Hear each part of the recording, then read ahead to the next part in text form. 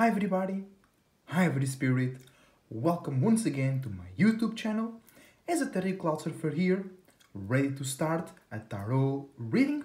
This is my own unique style of tarot reading. It's the 12 houses, aka 360 tarot reading, and I will explain it to you how it works in a second.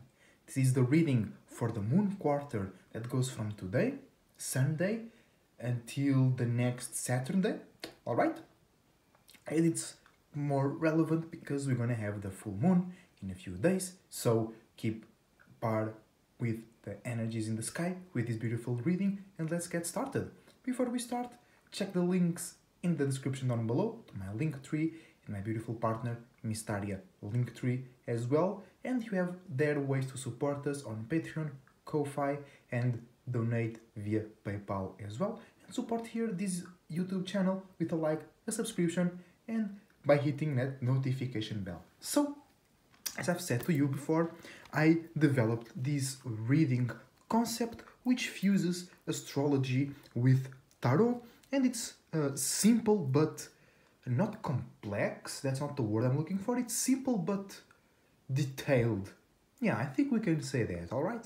Because it gives you uh, simple information but in a specific area okay? So it is detailed but yet simple because we have things more organized and clean. That's the whole point of us creating the 12 houses in the sky.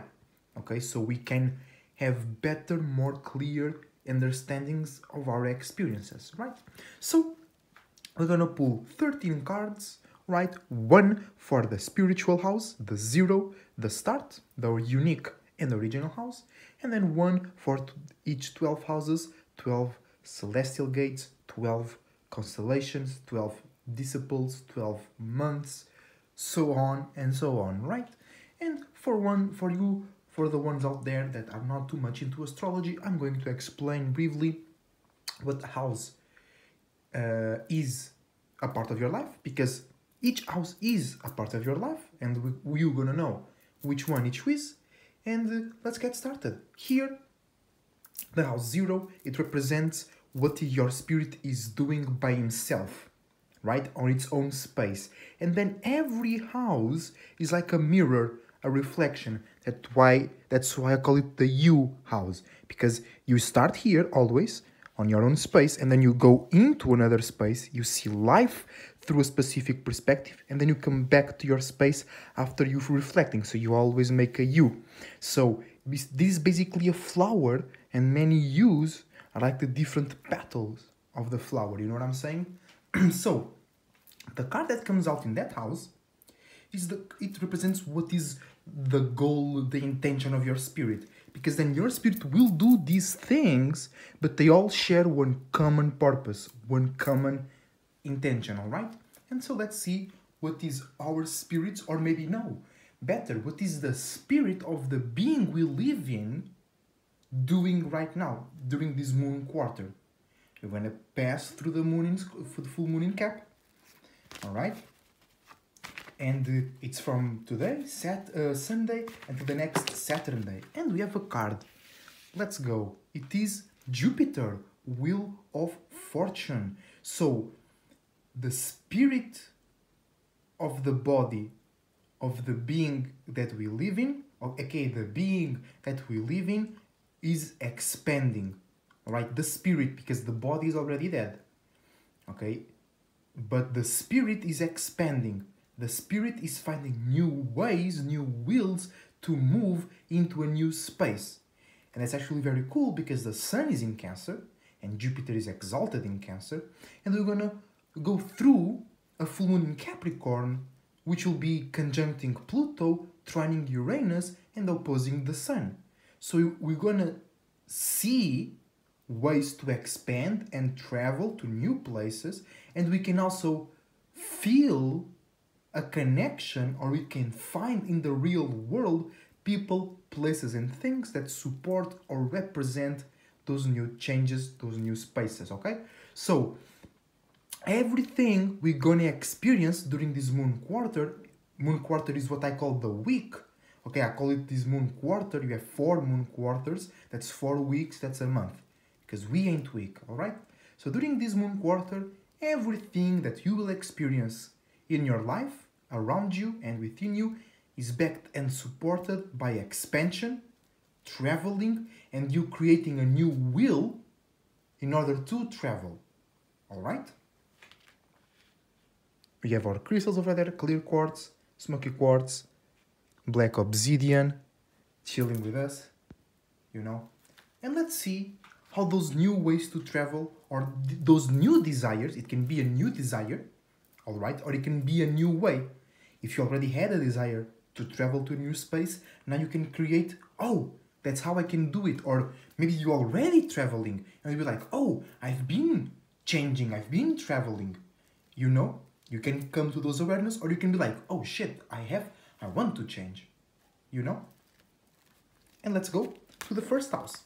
First house means, or it represents, or you experience in your in your first house your personality, personal insecurities, and personal interests. So, how the change, the will to travel, will represent itself on your personality, personal interests, and your personal insecurities.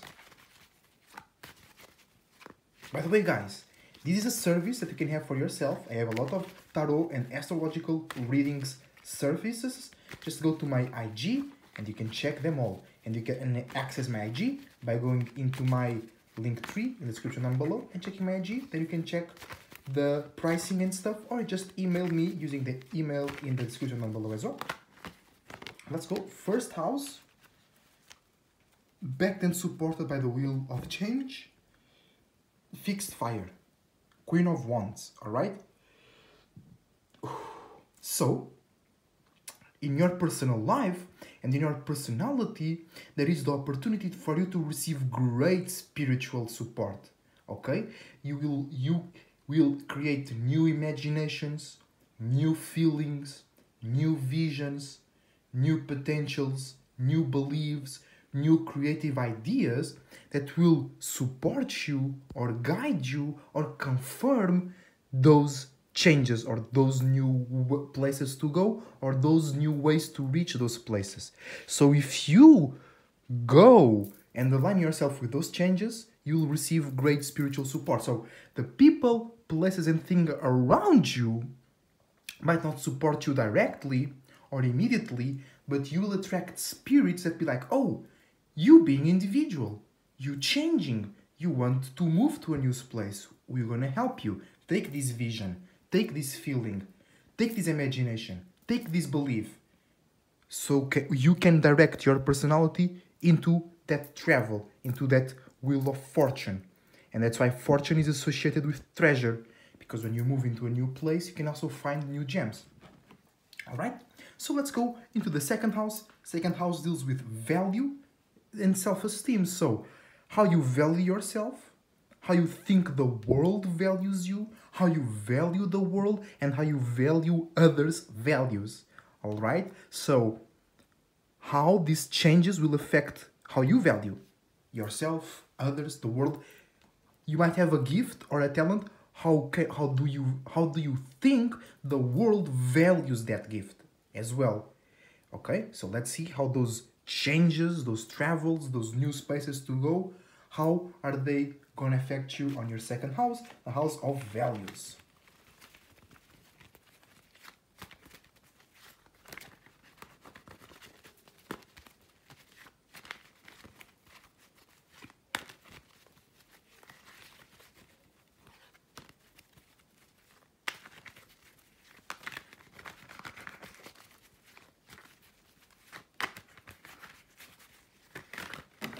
Let's go. We have a, a card for y'all, and it is Aquarius, the star.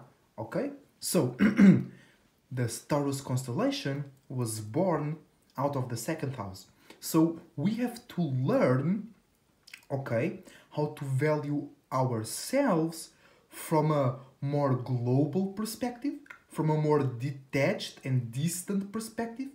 We have to learn how to value our individuality. We have to learn how to value others' individuality. We have to learn how to value uniqueness, how to value others' uniqueness. You, you, you, you have to learn how to value yourself because you gonna be a part of a constellation and in a constellation there's, there is many stars and if you don't value yourself as a part of the constellation you might end up hating yourself hating the other stars you want to be the alpha star but that, that's not even the case okay? This is aquarius. Everybody can be the alpha star at the right time at the right moment. So you also need to value your learn how to value your skills in order to know the right time and space to act on those skills and gather enough attention okay? So it's a learning process. You have to be a bit more light learn how to be more light with your values learn how to be more unique more individual more free and claim authority over your values. Because we changing we going into new places and spaces and if you don't hold limits and boundaries to your values somebody might go in and use your values for their own benefit and leave you dry okay? But also very important you you need to learn how to associate your values use your values to make yourself a part of something that caters to your individuality. Let's go. I like that. Let's go into the third house. That deals with your surroundings friends teachers the butcherman, the fisherman, the owner of the coffee over down the street, you know? How are we going to experience those new changes, the will to change, those new ways to change, those new ways to travel in our surroundings? Let's see. Through this uh, moon quarter until we reach, not until, but as also we reach and pass over the full moon in Capricorn a bit of scatteredness, it's alright. It's third house. Gemini constellation was born out of there. It's normal to be a bit uh, scattered in that area. Don't you worry about that.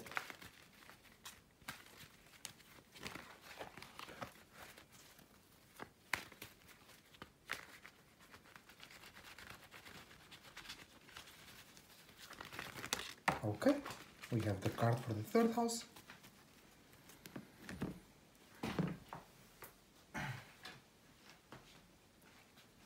Oh, it's mutable air, Prince of Swords, so very natural energies. There is not anything too special going on. You just want to share your thoughts and ideas.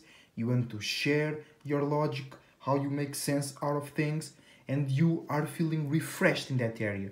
You feel you have a new way or a new passion to communicate and associate your thoughts and ideas, all right? So you just you feel the same, you feel like normal but refreshed uh, about your surroundings. Okay? And you feel you can come back in and you feel you can connect yourself a bit more, but nothing too special, nothing too different over there. Because Gemini is mutable air. So having mutable air in the third house, it's very natural. So let's go into the fourth house. Over here, privacy, family, it's like a more private third house, private surroundings, people that you let into your bedroom physically and metaphorically. And it is king of cups. Okay so everybody's going through changes. Everybody going into new places right? So you have to give your emotional grand emotional support to the people places and things on your heart space around you in your house that go into your bedroom physically and metaphorically, and that includes yourself, okay? So give your great emotional support to the ones you love, to the ones who support, and to the ones that love you and support you. Give them your great emotional support by creating new ways to feel, to connect, and to have spiritual purpose behind the spaces you're in. New ways. Be that in mind. Oh, and actually, this is Gemini and this is Cancer on the third house and on the fourth house. Very natural, very natural. Good flow, good flow of energy. Sorry guys, a bit, little bit of too much air in the summer, you know. I'm an, I'm an air boy. It's alright. Let's go. Fifth house. Fifth house deals with the things you pay attention to, the things that you like that pay attention to you, what you entertain, what you like to be entertained by, how you express your fixed perspectives and feelings about the world and your creativity and the expression of your individuality in general. So if you are, if we are creating new ways to travel or seeing new spaces we want to travel into, or are we just realizing that we have that possibility, how will that influence our fifth house? The things we pay attention to, how how we like people to pay attention to ourselves. Because you might be a painter, but you want people to pay attention to you because you you you're a good football player. You know, it depends on your alignments in the fifth house. Oh, whoa! Two cards. One is conscious, the other is subconscious. So, on the conscious side, on the external side, on the physical side, we have Venus, the Empress. So, if you pay attention to yourself, or if you pay attention to new spaces, if you pay attention to new spiritual realizations and new possibilities, you can value those or you can value yourself. You can see yourself as bountiful, you can see yourself as fair, beautiful, and attractive. Okay? Or, and then subconsciously, oh, exactly, because sub- subconsciously your spirit is detaching, or your spirit is detaching from physical things and circumstances that you were paying attention to before. That's why you are finding value in the new ones because your spirit was tired of whatever physical state, fear, limitations, responsibilities it was paying attention to. Okay, so that's subconscious. Okay, your spirit going away from old earth energies is giving you the ability to to find new values about yourself, about how you see yourself. Now you might think that others pay attention to you because you're bountiful, because you're beautiful, because you're attractive, okay? Because your spirit is feeling lighter, your spirit spirit is feeling fresher, your spirit is feeling ready to jump into new spaces and that always makes us feel good, that always makes us feel that we have the power. We don't need the power because we have it, or we don't need that thing because we have the power to create or attract that thing, all right? So, you are detaching from an old part of your reality that you are paying attention to, that is making you find new values within yourself, the things you pay attention to, and the things that you like to entertain.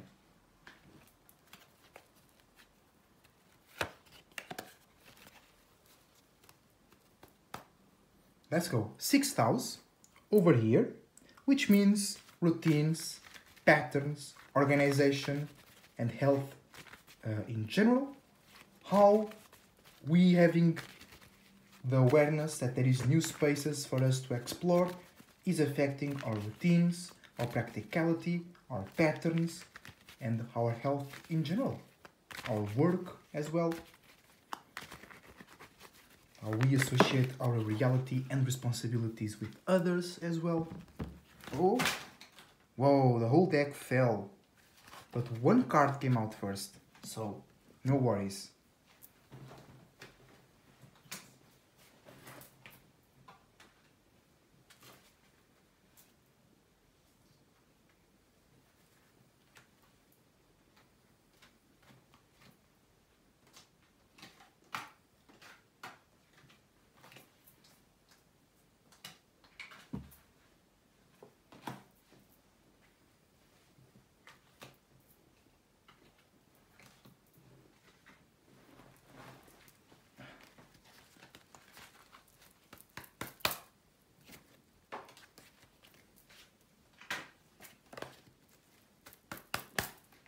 All right. So we have the Four of Cups. So yeah, we are we are before we move into those new spaces, we see it's possible to move there. But before we create a routine and pattern around those new feelings or around those new possibilities, we want to make sense out of those feelings. We want to to make sure that we are about to change our reality towards the right feelings, okay? But thinking too much and trying to be too logical about your feelings, about these new spaces, can throw all of your uh, abilities away. So be careful with that. Don't exhaust this water, don't exhaust this fuel, but make sure you are giving the right shape and form to those new feelings, to those new spaces, okay? You are thinking and analyzing those new spaces, those new feelings. Let's go into the seventh house, which is your relationships, how you create ways to relate your individuality, right? Let's see how is, how is that reacting to the will of the spirit of the body that we live in to see new places where it can expand. How is that going to affect our relationships? How we relate our individuality? Reversed Six of Cups. So we we will be wanting to pay too much attention to others' feelings. We want to be around somebody that has authority, power, and control over their dreams, illusions, and imaginations. But you should be the one that has power, control, and that pays a lot of attention to your own feelings to then relate that and attract the right relationships okay? So instead of you being instead of you looking out for somebody that does this you should be the one doing this okay? Keep that in mind. Pay attention to your own feelings have power and control have authority over your own feelings and emotions okay? Otherwise that's hercules okay and what hercules did Hercules worked the 12 labors of the gods. Hercules, the sun or, whatever other star, he needed to work hard. He needed when he was going through this through the the space we are in right now, he, because whatever however he was going through the spaces, he was always clashing. He was always going through difficult times. He was always working. And that's what can happen to you if you keep paying too much attention to others' feelings and emotions you're going to create hardship, not an harmonious ship. All right? Let's go into the eighth house, house of uh, deep desires, deep emotions, deep feelings, deep memories, very meaningful memories, very meaningful uh, spiritual preferences that can translate into sexual or food like preferences, and just weird things about yourself that you think it's weird and you don't want to, the world to know about and the world might be like hey that's super chill but you super weird out about that thing about yourself okay? But we all finding deep within yourselves even in, in our subconscious realm in our dreams a unique individual very powerful feeling emotion imagination dream illusion nightmare or spiritual purpose. And it actually makes a lot of sense because we see the possibility to expand. We are like, oh, there is new spaces out there that we can go in and fulfill. So it's like, wait, if I can be the first one, or if I can go to a less uh, populated space, I can be myself. I can let my feelings and emotions, my own dreams out. I can make, I can experience them. Uh, because here in this realm, there's already too much spirits. So sometimes we need to fight for space to create our things and to express our things. While if you go, if you feel, if you believe there is new spaces, then you can go there and be yourself, express your individuality, and you don't need to fight for space because there is plenty of space because it's a new space. Get it? Let's go into the ninth house. Ah, sorry, y'all. Ah. Okay, we, we, we going, we good.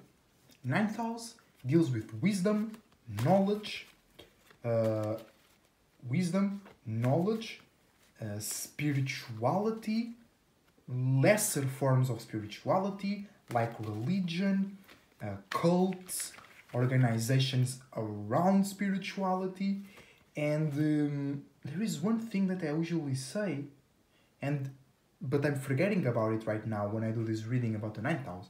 but it's like your testimonies. Ah, I know it. It's you expressing whatever deep experiences you went through on the eighth house. Then you make a testimony. Then you make a Bible. Then you express in a creative way the deep travels that you had in the eighth house. That's the ninth house as well. Okay, so let's see how this us being aware of the these new spaces to expand in how is that affecting our ability to express and associate our spirituality, wisdom, and knowledge. A little bit of scatteredness. All right. You might be talking too much, imagining too much, and you need to be a bit more focused. Remember, the Ace of Cups, the individuality, the gift is in the the eighth house, so it's time to be a bit more fixed on your own feelings and emotions. Like it was telling you here this is this is in reversed right? So you relating too much or you wanting to connect to others feelings and emotions is not in your favor all right? All right.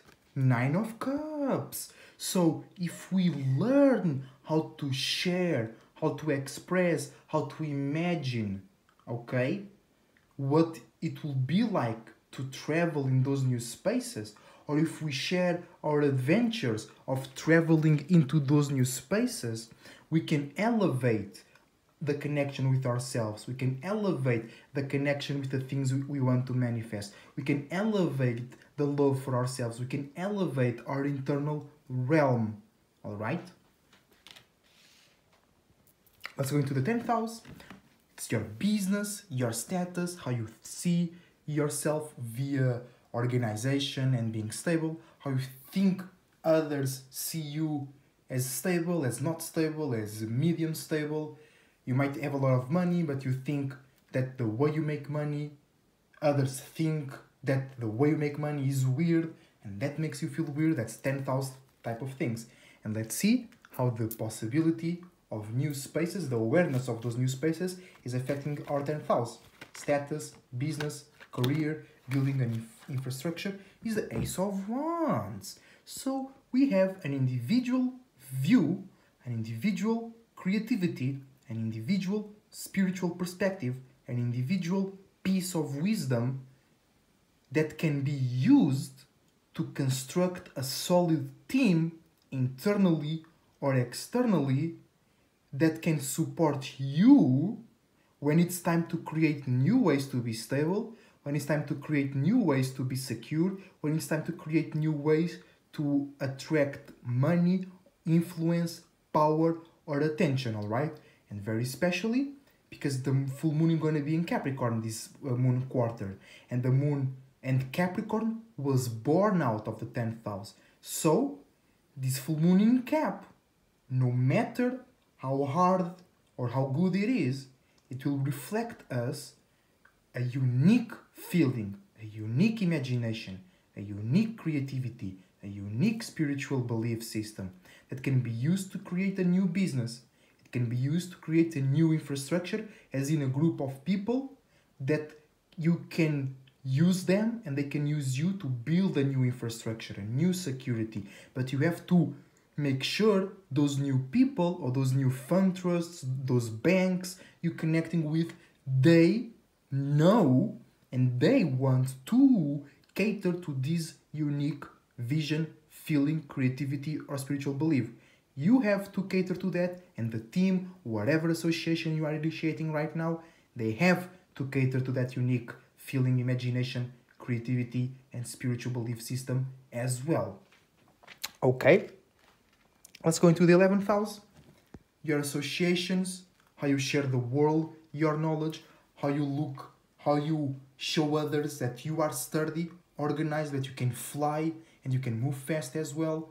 Science, occultism, numerology, gematria, uh, things that make you, you want to create answers for those things. But the more answers you have, the more questions you have, things like that, you know? Let's see how we having the awareness, we knowing that right now it's possible to expand to new places, spaces and places, palaces, Okay, how is that affecting our ability to associate our mind and our individuality with the world?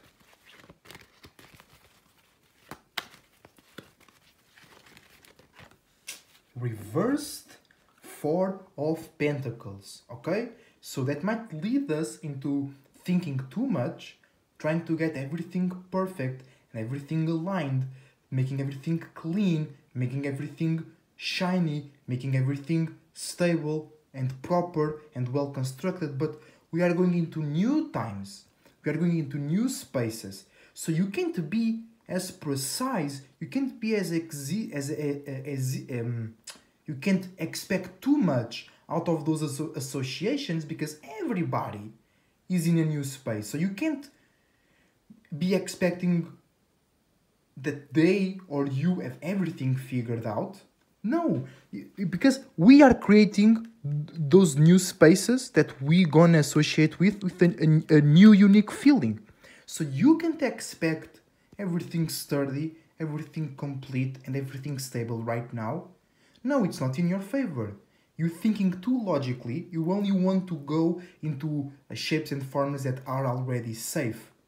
But those are not working right now. That's why you're going into new spaces. That's why we're creating infrastructure and business out of unique feelings and new creative ideas. Because those old creative ideas ain't working no more. Alright? So you have to lighten up. You have to be a bit more spiritual, a bit more into your creativity, a bit more into your feelings, understand, try to understand and tolerate other circumstances as well, and don't share and associate your frustration when this stability and practicality is not seen in your associations because everybody is going into a new space including you. So you might not be stable in how you associate yourself how you share knowledge how you share how you maintain your individuality protected. You might not be doing that right now. And you you want others to be like that. That makes no sense okay? So make sure you lighten up. Make sure you believe in all possibilities because this four of pentacles is basically the opposite of all possibilities. Is you, is you creating one possibility out of all possibilities and right now we, need to be a bit more open okay because you might reject certain opportunities because they don't fit into that specific form. And you'll be like, I want a triangle. And it's like everything in front of you is golden, but in not triangles. So you'll be like, then I don't want it, and then you miss an opportunity, alright? Don't be like that.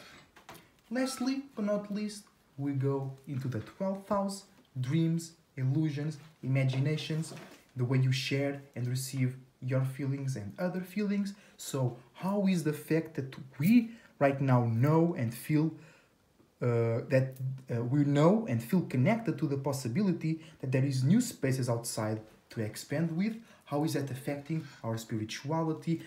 Usually, I say that the 12th house is us seeing or uh, everything that we went through in one perspective how is those new spaces those new possibilities affecting our spirituality our creativity and how we associate our emotions and feelings.